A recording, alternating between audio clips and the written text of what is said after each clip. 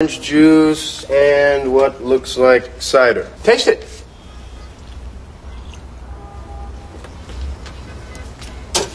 Yep. It's fat. I drank fat. You know, I'd feel a whole lot better if you got dressed now. Okay. Get up. What? Near my seat. How is this your seat? Because I was sitting there.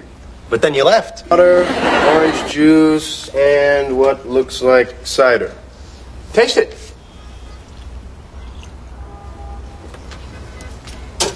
Yep. It's fat. I drank fat. yeah, I know. I did that two minutes ago.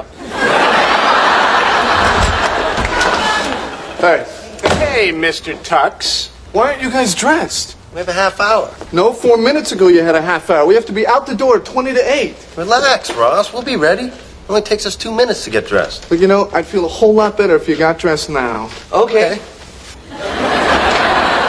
All right. I took the quiz, and it turns out I do put career before men. Get up. What? Near my seat. How is this your seat? Because I was sitting there. But then you left. Well, it's not like I went to Spain.